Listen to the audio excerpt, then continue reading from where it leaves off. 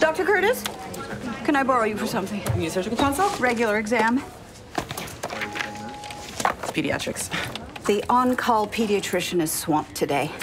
Good news is the boy's vomiting seems to have stopped.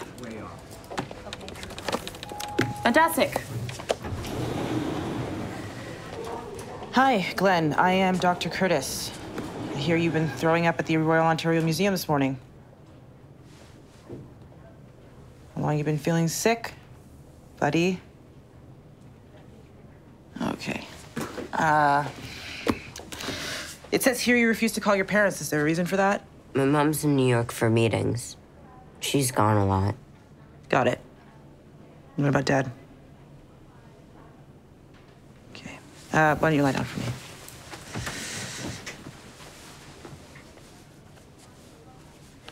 Does that hurt?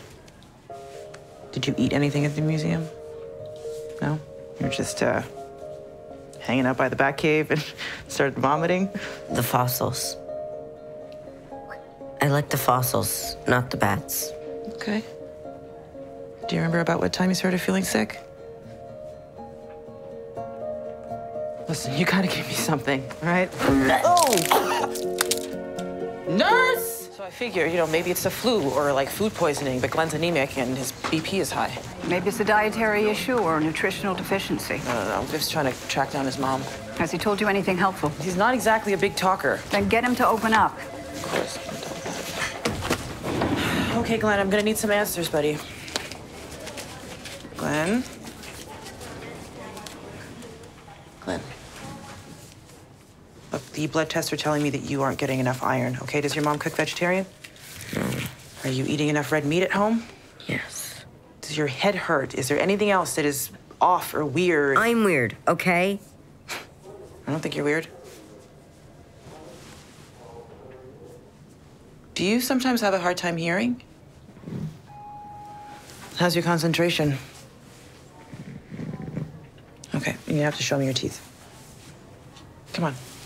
Like this. Mm, there we go.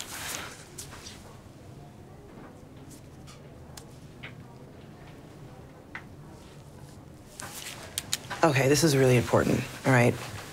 Do you live in an old house? The paint on the wall, is peeling or anything like that?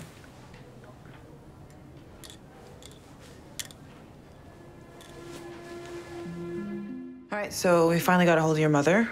She's gonna take an early flight back. Says she has no idea what could be causing this. But if you do, you should tell me.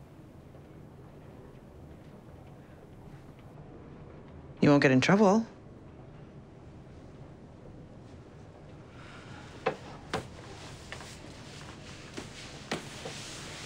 Okay, what if I tell you there's a 20 in it for you? Wait, you you bribed him? I tried. It didn't work. So uh, you're saying he was 13? Chelation therapy is not going to be easy for a kid his age, but given how extensive his lead poisoning is, he may need it. Okay, so then why are you calling me? Because he won't talk to me. You're you you called me to ask how to talk to your patient. Well, I mean, normally I deal with adults, okay? I really need help. Well, look, you have to find a way to make it seem like you're not trying. You know, they usually want to talk. They just need to do it in their own terms.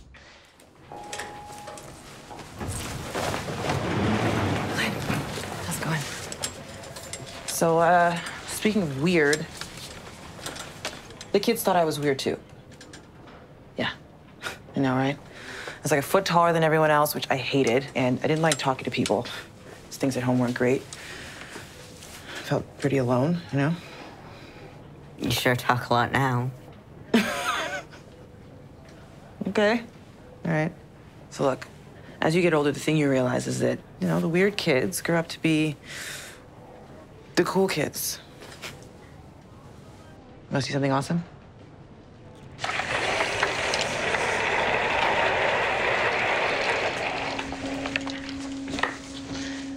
Ready? You said you like fossils, right? Huh? cool, right? I mean, he's not real, but he's to scale. We use it for teaching. Residents call him Maurice. Say hi. Shake his hand.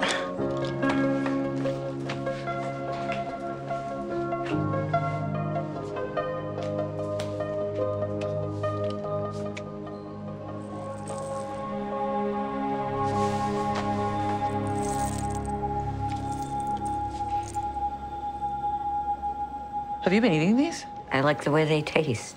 But what are they? Fishing weights. How long have you been doing this? Uh, About a month. I got them from my grandfather's tackle box. He used to take me fishing before he died. We used to talk about stuff. But you miss him, huh? I feel alone too. No, you're not alone. But Glenn, how many of these have you eaten? A lot. I tried to stop, but I can't. I didn't know they were made of lead. It's okay. It's cool. I can help you with this. Can I stay here a bit longer? Definitely. Hey, just chill with Maurice.